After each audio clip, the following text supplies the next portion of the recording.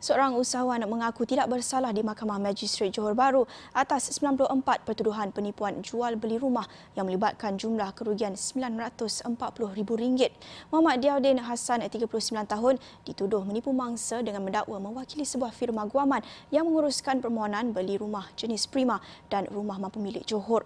Tertuduh didakwa melakukan semua kesalahan itu antara Februari hingga Ogos 2018 dengan 94 mangsa yang diperdaya membayar deposit antara 5 hingga RM10,000. Pertuduhan dibacakan mengikut Seksyen 420 Kanun Keseksaan yang membawa hukuman penjara tidak kurang satu tahun atau tidak lebih 10 tahun dan sebat serta denda jika sabit kesalahan.